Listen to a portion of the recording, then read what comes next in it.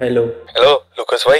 आपकी बहन यहाँ लीजन पर हॉस्टेज बनी हुई है। जल्दी आ जाओ जल्दी। ठीक है आ रहा हूँ